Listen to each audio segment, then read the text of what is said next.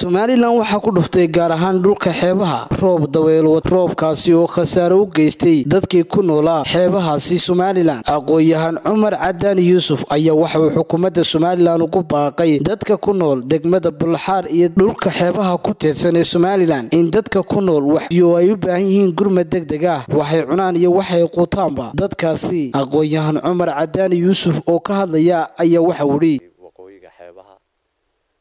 markaa waxaan la hadal roobabku aad bay u xoog badan yihiin. Roobab dabaylabatay ahaayeen. Markaa wararkana soo gaadhaya laga soo gaadhay bullaxaar ceel sheekh ilaa xeebta oo dhan ilaa lughayo la gaadho waxa weeye roobabku aad bay wax u yeeleeyeen. Dadku markuwii hore tiyo shan sannadood baa abaar xun xun xun ku dhacday. Shan sannadood wax rooba may helin. Kuwii abaartii aada u jilcisay oo ilaa xad ay jilcisay ayaa haddana roob mahigaan oo xoog badan oo dabayl wataa haddana ugu biiray markaa sida wararku nagu soo gaadhayaan horta waxla wixii adhi ahaaye eeryadaa ku noolaa badankoodii wuu laayay. Waxaa u soo hadhay wax yaroo geeliibay waxoogay ka hadheen markaa dadkaasi wixii dhismayaasha ahaana way wada dumeen. Markaa dadka qaar kuwa bullaxaar jooga waxaa lagu ururiyey iskuulka boodhanka ee bullaxaar welina dadku way ku soo socdaan oo way soo qulqulayaan. Amin meesha waxaa ka jirta dhib aad aada u fara badan baa dadkaasi amin ka taagan meeshaasi waxayna u baahan tahay inkastoo dalku imika dhib badan iska jirto dagaalyo waxna jiraan.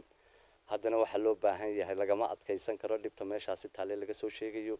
Waxaa loo baahan yahay ama ha ahaato dowladda ama wasaaradda amin ama wakaaladii ahaato aafada qaran ama guddida abaaraha. Waxay doontaba hadde waxaa loo baahanya ummaddaa deg deg deg deg in wax loola gaadho. Arrintoodu ma qurux badna xaaladoodu ma wanaagsana abaarihii tiyo shan sannadood ay baa imikana waxaa ku dhacay roob weyn baa ugu darsamay. Marka waxaanu dowladda ka codsanaynaa iyo cid kastoo khusaysaba dadkaasi inay dayacan yihiin gargaar sida ugu dhaqsaa badanna loola gaadho ama tujaar ha ahaato ama culamaa udiin ha ahaato somalilan inayna dalkaa u kala hadhin waynu ognoo dhibaatooyin badan baa dalka iska jira dagaalaa ka jira.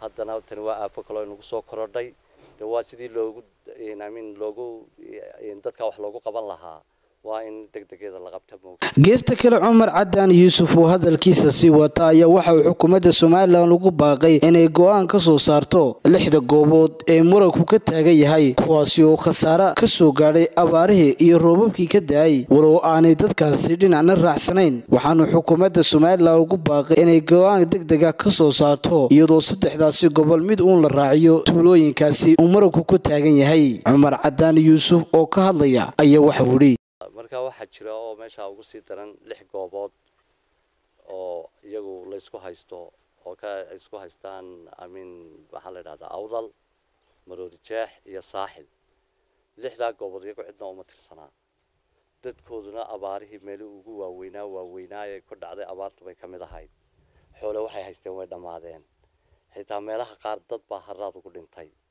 dadka qaar bay waraabayaar ku cuneen had iyo gooraale meeshaa cid u gurmataa oo hawlahooda ka soo warantaa ama wax u geysa ma jirto.